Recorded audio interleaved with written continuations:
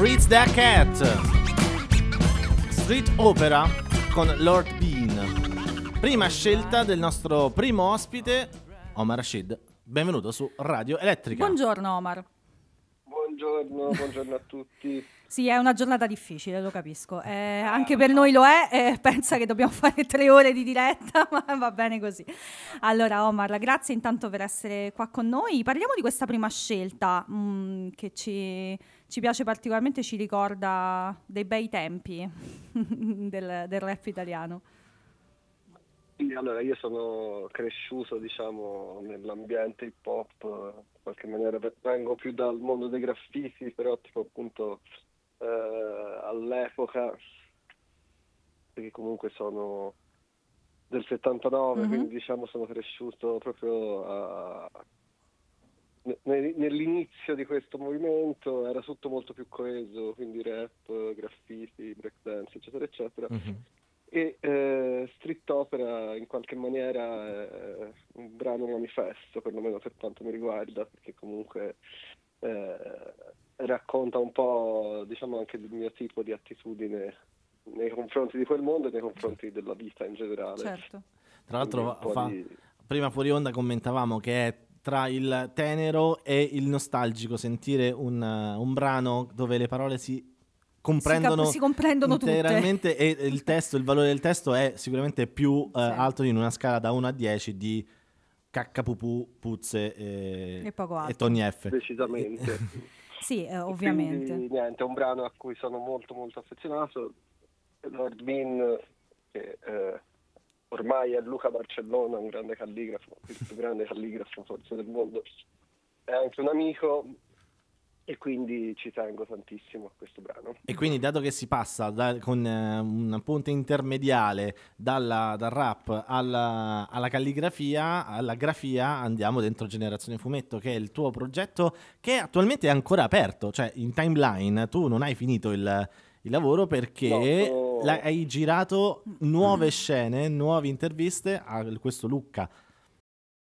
Generazione Fumetto, Zero Calcare, scena 1, take 1. Sono Sio. Sono Mirko Andulfo. Sono Giacomo Bevilacqua. Sono Rita Petruccioli. Sono Michael e Mirko. Sono Sara Pichelli.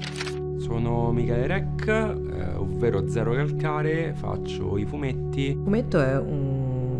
è arte sequenziale. Leggere per me è stato leggere fumetti bellissimo mezzo per raccontare una storia. Un modo semplice per raccontare cose difficili. È bellissimo che hai il lettore che decide quanto veloce va quella pagina. E quindi io ci devo stare, devo stare alla scrivania, devo starci dalle 7 del mattino fino a mezzanotte. Sono timido, io non sono capace a parlare con le persone, manco con la mia famiglia spesso. E molte cose se non avessi avuto i fumetti per fargliele leggere non le saprebbero ancora adesso. Non solo una forma d'arte importante ma anche una delle più complete. Raccontaci esatto. che cos'è Generazione Fumetto e come è composto in questo momento. Allora, Generazione Fumetto è un documentario che eh, diciamo io ho la fissa del linguaggio in mm-hmm. generale, un po' in tutti i progetti che sto facendo cerco sempre di interrogarmi su, proprio sul linguaggio, soprattutto quelli underground, quindi non a caso appunto anche il rap o i graffiti li includo in quel mondo lì. E eh, il fumetto l'ho affrontato nello stesso modo, cioè come un medium, come linguaggio, e eh, l'intenzione è quella di raccontare la potenzialità che ha, eh, che cos'è e che potenziali ha questo linguaggio attraverso lo sguardo di sette artisti diciamo di una generazione specifica mm-hmm. che è chiaramente una selezione, chiaramente non sono, eh, cioè ce ne potranno essere altri 30 tranquillamente eh, che, che, mostrano altrettante sfaccettature diverse, però ovviamente come tutti i progetti eh, che devono stare diciamo dentro un, una cornice temporale è necessario fare una sintesi e quindi diciamo io ho identificato in sette artisti della mia generazione mm-hmm. in qualche maniera eh, coloro che in qualche modo hanno un po' rotto diciamo, la scatola dell'industria come era concepita prima. Assolutamente Ciò sì. non vuol dire che eh, appunto prima non ci fosse un movimento dal basso o un eh, modo di approcciarsi a questo linguaggio totalmente diverso, ma sicuramente sia per una questione anagrafica, cioè eh, persone che come me sono cresciute leggendo fumetti e non hanno mai smesso, perché perlomeno io non l'ho mai fatto, eh, e non me ne sono mai vergognato, perché quello è anche un, Una un discriminante fattore importante. non indifferente. Sì, sì, sì. E in più hanno avuto, eh, diciamo, la fortuna di vivere l'avvento di internet che naturalmente ha contribuito a sovvertire, diciamo, le regole, nel senso che comunque eh, se, se penso a... cioè io da, da ragazzino volevo fare i fumetti, vedevo veramente eh, insormontabile la barriera della tecnica, eh, diciamo di ciò che finiva poi in edicola o in, eh, al tempo quasi solo in, in edicola o al massimo in biblioteca, già in libreria era difficile trovare i fumetti. Però diciamo era impensabile che un Zio o gli scarabocchi di Michael e Mirko fossero mm, finissero proprio in, Accanto a come Tex, a- accanto a cioè Dylan che Dog. fossero dei bestseller, no? Certo. perché comunque io poi sono cresciuto anche con l'omino buffo di eh, Francesco Attibani, cioè che in realtà è eh, colui che l'ha portato avanti, però eh, che era presente su Cattivic o Lupo Alberto, non ricordo, Sì. che comunque aveva un tratto molto ingenuo, semplice e replicabile, no? che è quello che poi mi interessava a me di questo tema, no? di questo linguaggio, cioè il fatto che veramente con un foglio da penna potevi fare un tuo fumetto, mentre già spostandosi nel cinema è impensabile, no? che Mhm. senza soldi non riesci a fare qualcosa di, di grosso. Assolutamente. E, e già ora sono cambiate le cose grazie sempre a internet, agli smartphone, eccetera, eccetera. Certo. Le sette voci che troverete in Generazione Fumetto, il documentario che vi stiamo raccontando in anteprima, perché appunto al momento abbiamo visto i 30 minuti presentati a Lucca Comics, quindi probabilmente una persona, sicuramente una persona che ha mandato il, eh, il messaggio in questo momento sulla chat di, di WhatsApp poteva, potrebbe aver visto il... eh, il, il Ah, sì, documentario a perché Lucca. era a Era Lucca, a Lucca, sì. ma le sette voci che sono al centro del, del documentario sono Mirka Andolfo, Giacomo Bevilacqua, Rita Petruccioli, Sara Pichelli, Michael e Mirko, che contano come una persona, ma sono due, Sio e Zero Calcare. Quindi la, la fotografia è esattamente un momento storico, appunto. Hai- li abbiamo avuti tutti, tranne forse Giacomo Bevilacqua ancora. No, no, No, no, Giacomo no, c'è tutti. stata Sara Forse Pichelli. Sio, e Sara Pichelli ci mancano. Sio c'è, Sio Ah c'è, no, Sio Sio c'è. c'è, Sio c'è. Sono tutte persone che sono anche passate, in qualche modo siamo anche noi dentro quella scatola che loro hanno rotto. Eh, il, ehm, la, la fotografia di questo momento anche di, di passaggio, tu raccontavi la, la tua esperienza dell'idea del fumetto quando lo leggevi e basta.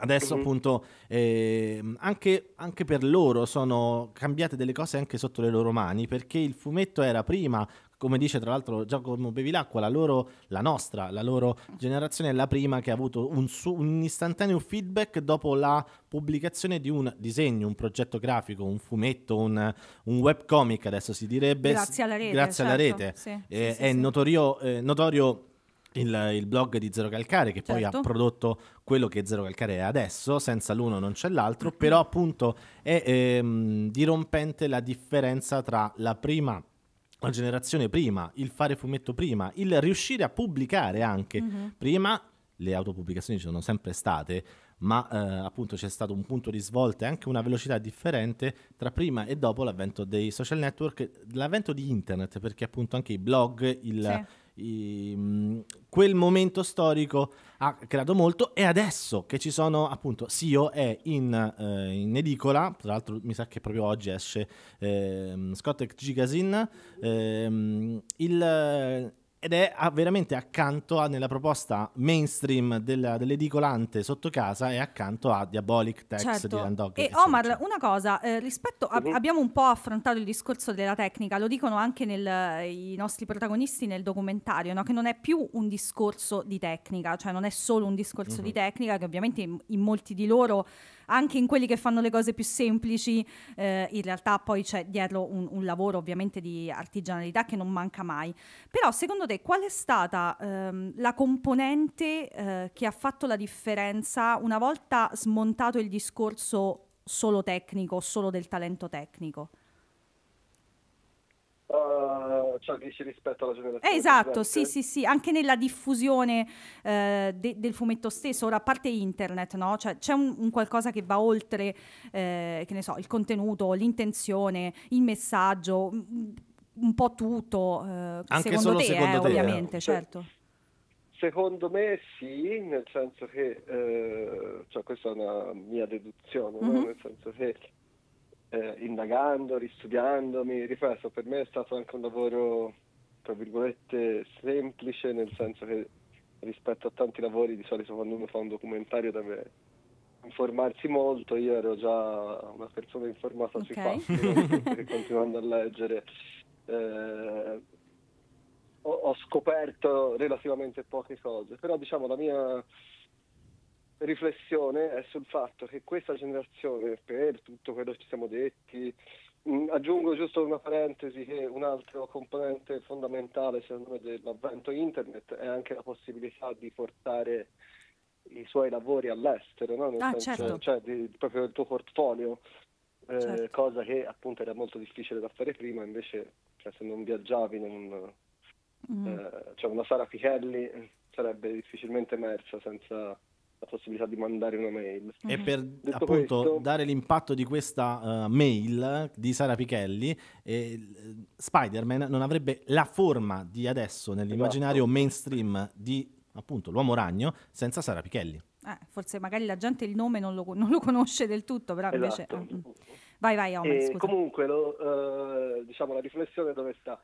Nel fatto che questa generazione a, a livello di fumetto italiano ha raccontato molto di più eh, l'Italia, l'Italia, la, so- la nostra società, le nostre mm, eh, come dire eh, anche le imperfezioni della società, le controversie, eccetera, eccetera, cosa che nei fumetti precedenti era molto schermata, cioè se penso a tutti, non vorrei sbagliarmi, ma quasi tutti i Bonelli comunque sono ambientati all'estero, no? Cioè, nel senso se penso a Dylan Dog a Londra, Martin Mister a New York, Diabolic a Clairville, Mhm. e, cioè proprio È fisicamente un altro parte. luogo. Sì, Certo. sì, sì. sì, erano comunque, eh, raccontavano storie che non ci appartenevano in qualche Mhm. maniera, comunque ci appartenevano di riflesso.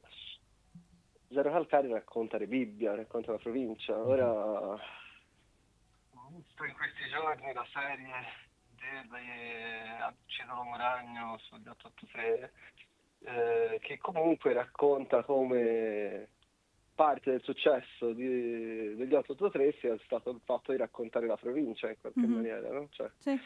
eh, è un po' la rivincita, la rivincita dei nerd. E, Certo. eh, e in qualche maniera io ci vedo questa cosa qui, no? nel senso che eh, appunto sia, cioè lavori un po' di, di tutti e sette eh, hanno molto di loro dentro, anche nello Spider-Man disegnato da Sara Pichelli comunque c'è un po' di Sara Pichelli, Come no? Certo. come è naturale che sia. E, e quindi secondo me questo sicuramente ha contribuito a eh, renderli diciamo più potabili anche per eh, chi usciva dall'infanzia, no? nel senso che comunque ci si rivedeva molto, cioè quello che eh, dicevano tutti quando esplose il fenomeno zero calcare è che ci si rivedevano, Certo. cioè parla di me, sono eh, io uguale, io così, Mm, cosa che in passato faccio fatica a ricordare, no? Con- cioè, l'unico e che secondo me è il vero precursore di tutta questa ondata, ma è di una generazione precedente, Gifi. Pensavamo lo stesso esatto, nome. Esatto, eh sì, sì, sì. che raccontava se stesso e eh, in un modo totalmente diverso, utilizzava anche lui internet, però diciamo se Gifi è stato quello che i giovani dicono mio padre, no? Eh, gli altri comunque hanno creato secondo me un movimento più coeso, nel senso che comunque è un po' un, un tratto distintivo di tutti, Ok. mentre Gifi rimane un po' una mosca bianca in qualche Certo. maniera. Cioè, il- il primo però era un'anomalia in qualche Mhm. maniera. L'avanguardia. Sì, un po' sì, un po' l'avanguardia. Senti Omar, eh, dal punto di vista pratico, eh, a che punto siamo? Quando possiamo pensare, più o meno, se lo puoi dire, eh, diciamo, eh, Certo. di vedere Generazione Fumetto, eh, diciamo, in un contesto più ampio? Perché i primi 30 minuti sono folgoranti, Eh no, molto infatti voglio interessanti. vedere ne voglio di avanti. più, ne voglio Sì. di più. Sì. Allora, no, diciamo che eh, siamo a buon punto, nel senso che io potessi continuare a girare per sempre, ma il mio produttore non è d'accordo e quindi siamo diciamo, a chiudere. eh, sai, io ho già una versione di 100 minuti più o meno Ok. montata, vorrei scendere a 90, Sì. includendo quello che ho girato eh, a Lucca. In realtà c'ho un altro paio di cose da, da girare, ma si parla veramente di, di- di poche battute. Mhm. E eh, l'intenzione è quella di averlo pronto per febbraio Ah, del ok. 25. Bene, bene. E eh, diciamo il- l'ambizione più grossa è quella che comunque questo progetto eh, diventi diciamo il eh, lancio di un altro insomma, progetto più ambizioso che è quello di creare una serie monografica su ognuno di loro, nel Wow. senso che comunque Bello. questo è proprio una cosa decisa in pre-produzione, nel senso Mhm. che comunque le- le- proprio perché quando vai a girare un documentario del genere o lo scrivi tutto e vai a fare esattamente quello che ti serve oppure nel caso di come l'ho affrontato io è stato di eh, creare più materiale possibile Certo. e poi scriverlo diciamo in eh, montaggio Mhm. con l'intenzione di avere molto materiale per poter fare sia il film che una serie Ok. diciamo, mo- Magnifico. monografica o antologica per Ok. tematiche, nel Bello. che comunque eh, i temi sono tanti e ripeto, cioè, in questo momento è veramente difficile decidere cosa tagliare perché Mm, mm, comunque. Eh cose che dicono sono veramente interessanti e, e mi piacerebbe appunto portarle fuori molto di più di quanto non possa fare in eh, 90 minuti. Certo. Dai 30 minuti che abbiamo visto, è veramente vi consigliamo caldissimamente di Sì, sì, seguire sì, questo aspettate progetto. questo febbraio, questo probabile febbraio 2025, lo aspettiamo anche noi ovviamente. Grazie mille ad Omar Rashid. Abbiamo parlato del Grazie suo voi. docufilm Generazione Fumetto. La tua seconda scelta? È un pezzo di cuore che grazie appunto a questo gioco dell'ospite porta i dischi abbiamo sentito appunto Fritz the Cat ma anche Plafone, Elio Lestretese e Antonella Ruggero. Ci sarebbero talmente tante motivazioni, dici la tua però. Vale anche il perché sì. Vabbè, perché sì, ovviamente, no, ma il- anche le Strefese sono un, eh, come dire, un pezzo importante della mia formazione da, da sempre, anche con loro diciamo, ho avuto modo di conoscere e collaborarci, che ho curato per loro il merchandising per tanti anni. E Plafone in particolare, cioè del disco Studentessi, che è il disco che segna diciamo, la- l'inizio della mia collaborazione con le Fese ed è il mio pezzo preferito di Ario Fese perché eh, secondo me racchiude un po' tutta l'adolescenza, cioè eh, tecnica pazzesca e eh, comunque anche una voglia di continuare a giocare e eh, rimanere diciamo nel mondo appunto ludico del- dell'infanzia in qualche maniera che è sempre stato qualcosa che ho portato avanti ho cercato di non perdere mai nel, corso della mia vita. Magnifico. È, una- è una buona- è un buon obiettivo, direi. Grazie davvero. mille, Omar. A presto. Ci risentiamo Ciao. intorno a San Sì. Valentino a questo punto. Ciao. Grazie molte. Ciao. Ciao ciao.